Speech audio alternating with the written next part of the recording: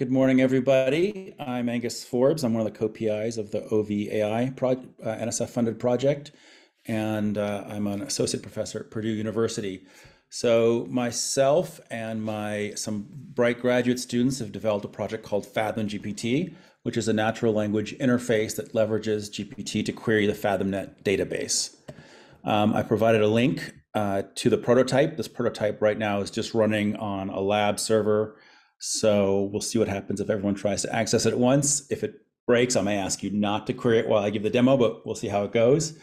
Um, the main functionalities of Fathom GPT uh, is that it provides a pretty robust name resolution of common names to scientific names, an ability to search by uh, various concepts, including morphology, color, predator prey relations, and environment or location.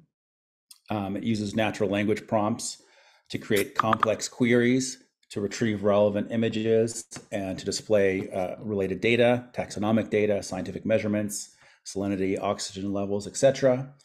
You can also search uh, for similar images by uploading an image of your choice and then writing a custom prompt that relates to that image. And then it will search the database to look for uh, images that uh, are constrained by what your prompt describes, as well as um, the visual features in the image itself. Uh, kind of excitingly, and and not perfect yet, but I'd love uh, I'd love to get feedback on the our the FathomNet's ability to create custom interactive visualizations on the fly based on natural language prompts of the FathomNet database. And then finally, we're working on some features to search the FathomNet database by image features or by pattern. So um, I've shared the link and let me uh, feel free to look at it or follow along. I'm going to share my screen and just run through some demos. Um, give me one second.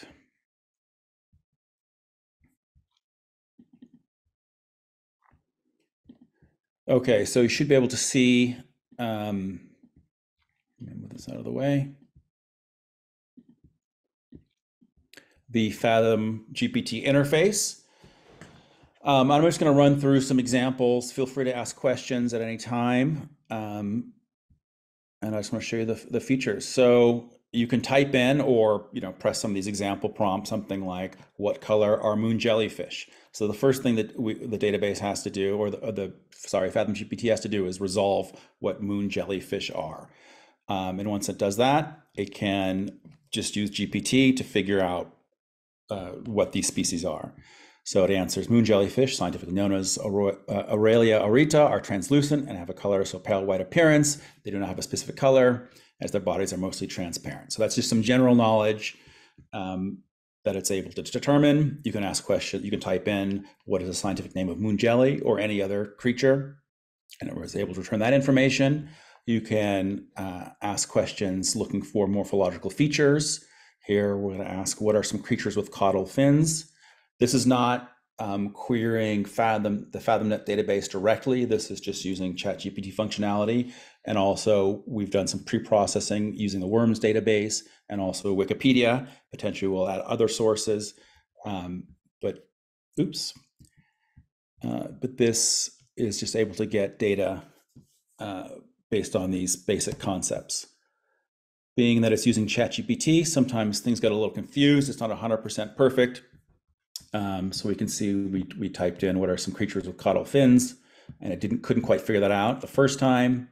So there is a kind of a non-deterministic element, which is somewhat troubling. So we're working on making the whole project more robust. But when we re-entered it, it was able to return uh, species or creatures with caudal fins and give you information, give you a list of some of those species.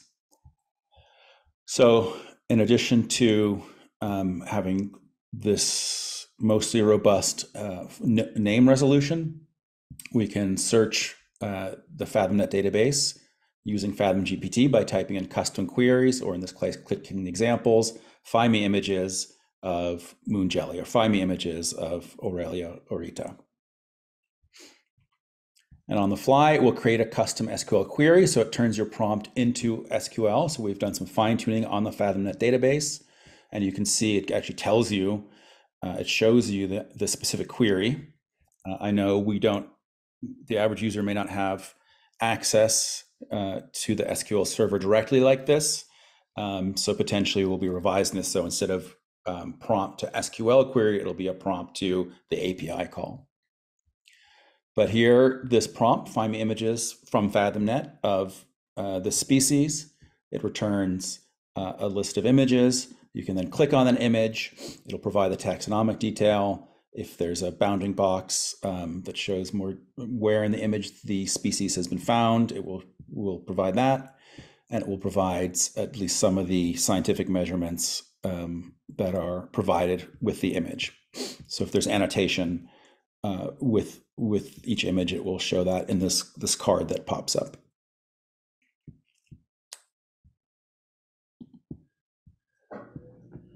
Um, you can do more complex queries, so you can find images that are uh, that are of a certain species with certain constraints. So here we're looking for images um, sorted by depth. Again, you can click on images. If there's any associated metadata, it will provide that.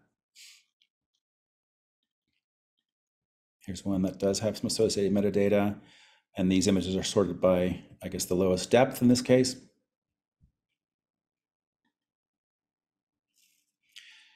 Um, you can find the best images where best in this case means the largest images.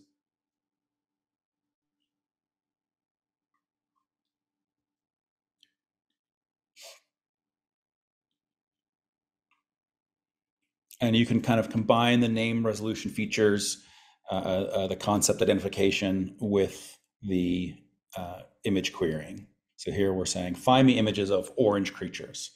And so it's using its knowledge base of what species are orange as defined by, I guess, Wikipedia in this case, and then performing a query on the creatures it's found.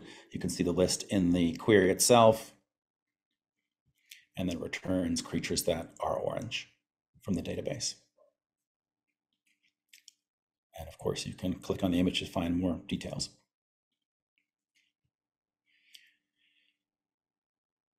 Here's one using the concept of uh, predators of um, moon jellyfish. So I don't know. This might you see a, a, error here. This might be because people are trying out as I'm trying it out. Let's see if just pressing new chat and reloading solves this problem. It looks like it does, which is great.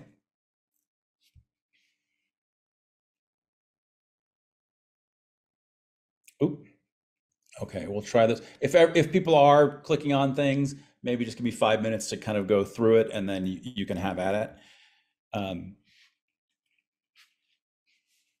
Here we're going to ask a question about the taxonomy. So if you just want the taxonomy without um, looking at a specific image, you can get the taxonomy tree. That might be interesting.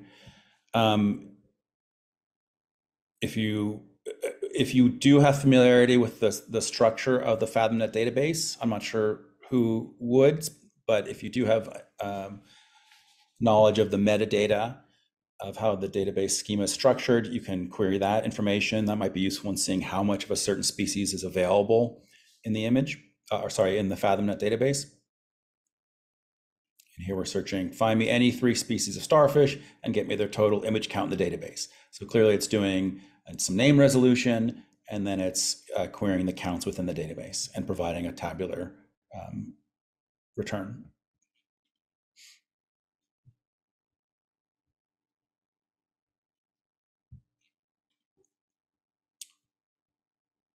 Uh, we can also search by image. So you are welcome to try this out and drop your own image into here. Um, I'll just, we've got some default ones if you just want to see how it works. So this is an image that's not from FathomNet, but maybe rather than typing in the name of the species, you're maybe don't know the name of the species, you can uh, search by image. So here we're uploading an image. You can move the bounding box around to, you know, if it's an image with multiple species, multiple creatures add it, and then say something like, find me similar images.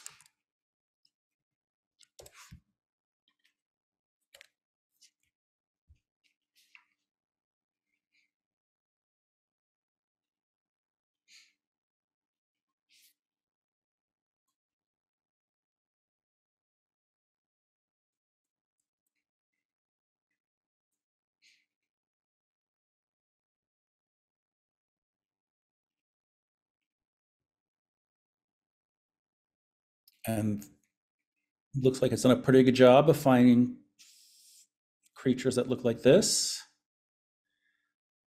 It doesn't look like the query itself um, has done any name resolution here. It's just uh, using a cosine similarity search to look for images that are, are that match this one.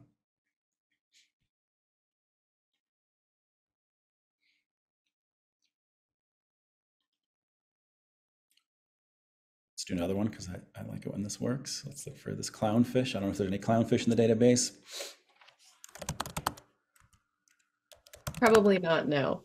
But Okay. this is still gonna be a fun. We'll see what happens.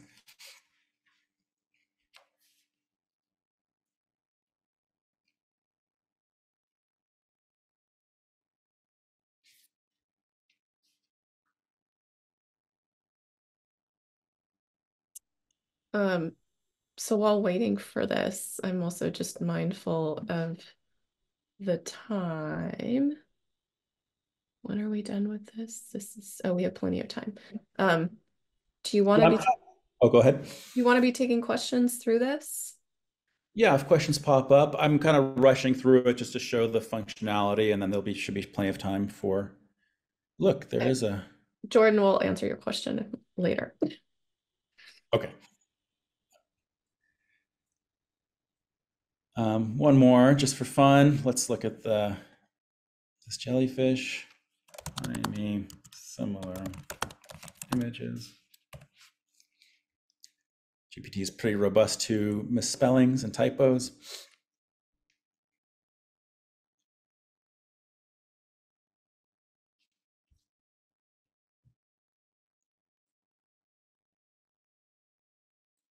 And according to our current uh, similarity metric, these are the images that match this image most closely.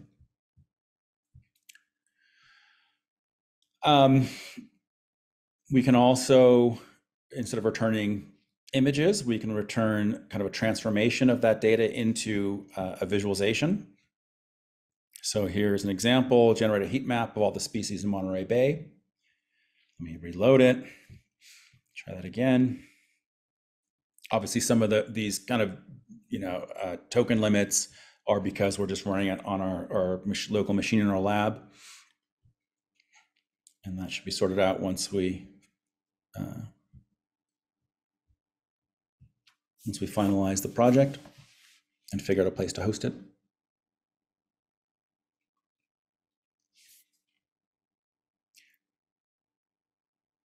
So this one's a little more speculative. I don't know why it gave me a map of Fresno, but it, it was smart enough. So it, you know, centered on the totally wrong place. So this is a little more speculative. It's pretty exciting when it works, but it gets things a little bit off sometimes. And this is where more work needs to be done in the fine tuning. And part of the reason I'm excited to talk to all of you, especially in the breakout sessions, is to figure out um, what types of queries, what types of visualizations you'll be interested in. And once we have that information, we can fine tune our Fathom GPT model to produce better results, especially with regards to um, the visualizations. So it produces an interactive uh, visualization where you can uh, roll over these dots and figure out what species is was found in Monterey Bay. We can type in things like generate a scatter plot um, between oxygen and pressure data. So you can even use you know queries that are a little bit ambiguous and it can usually determine what it means. So it's going to create a scatter plot, hopefully with oxygen levels on one side and pressure data on the other axis, uh, constrained by creatures, species in Monterey Bay, and then return a, a plotly uh, visualization on the fly.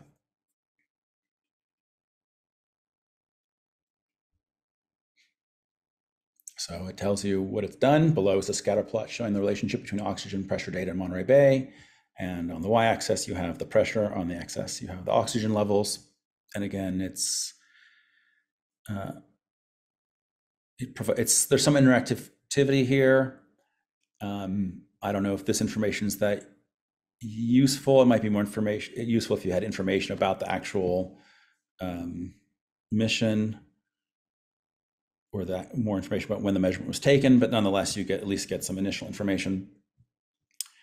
Uh, it can produce, in this case, a bar chart displaying temperature ranges for uh, Aurelia and Pine Conopadia. I can't even pronounce that. So what we're working on is the basic functionality is pretty exciting, and we're trying to push the boundaries of the complexity to see what types of answers it can return and if they're useful. So as everyone probably knows, GPT is prone to hallucinating sometimes. So we definitely want to get this in the hands of people who would actually use it and get feedback when it works and when it doesn't work, and to get a sense of what types of representations would be most interesting. And here's one last one I'll show you is how to generate a box plot showing oxygen levels.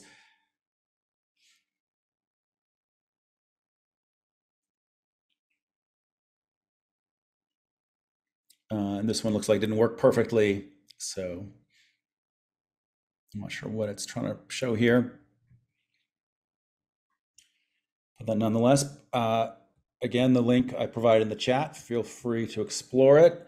The last thing I want to show before I take questions is um, research that we're currently exploring, which is the, the pattern extraction, kind of an extension of that similarity search I showed earlier. Here, um, we're uh, enabling a user to upload an image, but rather than just searching for the image, we might want to search for the specific pattern. Um, so we've got some interactive features where you are actually looking for the pattern itself. So here we can show, uh, first we can, if it's an image with lots of creatures, we can use segment anything to figure out the mass for a specific creature. Then we can click on uh, particular elements of the pattern to, oops, to, here's an example. We're clicking on that one creature and then it highlights that. Oops, screen sharing is paused. Hold on a second. What happened? Sorry about that. I, my screen sharing stopped for a second. Anyways, here's the example. Uh, a user can click on a single fish. It then masks out that fish, makes it larger. You can then click on elements of that fish to try and search for a specific pattern. In this case, it's look you know, the uh, user here is clicking on the yellow tail or the blue stripes um, increasing the threshold of what uh, parts of the pattern it finds. And then you can load in that pattern and then look for images that have it. So this is kind of work in progress. It's uh, not perfect at the moment. And I guess a question for this community, these communities are, would something like that be useful and how exactly would it be useful? So right now we think it might be interesting potentially to find similar patterns in related species. To find similar patterns within a, a single habitat potentially, or to find different patterns um, within the same species, or maybe even the same instance. I, I don't know if that would be useful or not, or even possible. All right, I think I'll end there. Um,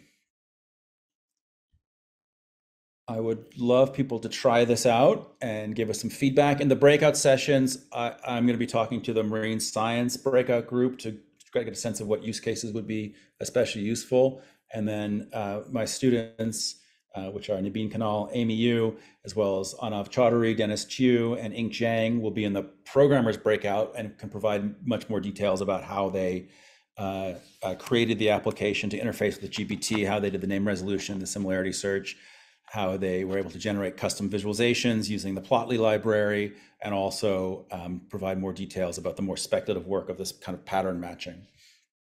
So I see there's questions. I don't know if they're about. Yeah, there okay. are. Um, so I can I can relay them to you. Uh, we have actually quite a bit of time, so if you have more questions, that's great. Um, so I think the first one is from Jordan. Uh, was this LLM trained or fine tuned, or are you using something like GPT-4 via the API? while providing base information to pull queries from like instant, for instance, from FathomNet? Uh, yes, this is uh, uh, fine-tuned uh, using some of Chat GPT or uh, GPT-2's tools. We're using the GPT API. Um, it's a in the programming breakout, we'll kind of um, detail the different steps we're using GPT. Sometimes we use GPT 3.5. It's much faster and cheaper. And then in some cases, if that fails, we have a fallback system to then use uh, 4 or 4.5, which is more expensive and slower, but generally has better results. Um, okay. And then um, there's also a question about whether there will be an API in the future or just accessible via chat. Uh, that's a good question. We've been focus, focusing on this chat, but yeah, there's no reason that this all this functionality couldn't be an API itself, which then you know creates um, uh, API calls to FathomNet. So it's I guess it could it could op operate as kind of a natural language API to uh, FathomNet. Mm -hmm. Of um, course, the interface also provides you know image feedback and the ability to kind of I mean, some of the stuff needs an interactive interface some yeah. of the functions for sure. And then just so you know, like we're envisioning adding this to the FathomNet website as a way to explore and visualize data that are contained within the database. Um, it's still early, so we're trying to understand the various use cases, which is why Angus is wanting to speak to both groups um, uh, as part of the workshop. And uh, I just I see Brian's comment. In case I misunderstood, there is a FathomNet API already. Um, you don't have to type in SQL directly or use the Fathom GPT interface to get to the FathomNet database. There is already an API, which is pretty robust. Mm -hmm. um, and then, so you, Chen, you had a question, um, and we actually saw this, I think, with the Aurelia case. Um, you know, experiencing when the model hallucinates, and what are your plans to to mitigate this issue? Uh, that's a good question. Um, right now, we, we need to collect data from this community precisely um, to let us know when the results are wrong, when it seems like something's been hallucinated. Sometimes we can catch it, we can just see an error is created, but sometimes it generates information that looks totally plausible to a, a non-marine scientist. So um, as we roll this um, prototype out and, and get it to the hands of, of FathomNet users, um, we we'll, we plan on implementing uh, a feedback mechanism to let us know when there's hallucinations. So basically what we need to do is we need to fine tune on as many prompts as possible, get a sense of what type of prompts people will be using. And the, the, um, the more correct baseline cases we have of a mapping of natural language to an accurate, in this case, SQL query, um, the more accurate it will be. I think um, it will never be 100% accurate, but hopefully it'll be more like, you know, 95% accurate. And the, the um, we'll just certainly have disclaimers on the tool, but it's meant to be kind of a starting point for someone querying the Fathom database. And I mean, one thing that's nice about GPT is you can ask a question and then refine it. So maybe it's your prompt wasn't as clear as it could, could be. So you can just re-ask the prompt or tell GPT, tell the GPT interface to, hey, I didn't mean that. What I meant by you know, this term is actually this. And then it can re- create a new query based on that context of what you said and got wrong and what you said now with more detail. So yeah, I think most. I was going to say that was a really important point to emphasize is that you know you can see the SQL query, so you can review really quickly whether the prompt or where the prompt perhaps failed. Um, but sorry, go ahead. No, and you can tell GPT that it was wrong, and then it will correct itself. So right now, I mean, there are just certainly plans for thinking about how to integrate this in the portal, which uh, uh, uh I believe is meant for a wider group of um, people to use. But um, the FathomNet community ide ideally has a lot more familiar familiarity with with uh, the, the the type of data that is being returned. So yes, please let us know if that data is incorrect at any moment. Mm -hmm. Very discerning community for sure. Um, and then there's another question, although I think we've answered it in the chat. How do you get metadata, the source of data, or the source of data used for the graphs and heat maps? So, you know, the source of that data is, is FathomNet. Um, you can use the API um, to pull that metadata. Um, there's also FathomNet Py. Um, but what we're seeing here, right, is the Fathom GPT interface is, is creating SQL queries from um, natural language to then uh, pull data from the FathomNet database. So there's a number of different ways you can access the metadata. Any other questions? I think that addresses what's been asked in the chat so far. Yeah, thanks for the feedback. I will be uh, present at the marine science breakout group, and I, I am happy to answer more questions. And I also have questions for you about how you might use a tool like this. I see some of the comments. Thank you. Um, and I'm just going to post, I'll repost the uh, the Google form. If you have some ideas and want to use it now, I'll repost it during the breakout sessions as well. But that information will be very useful for us um, because I'm sure there's some use cases we haven't imagined yet, and we could certainly improve the fine tuning with more feedback from all of you. And then if you don't fill out that form now, we'll follow up with that form and share it with all the, the people who registered for the FathomNet workshop.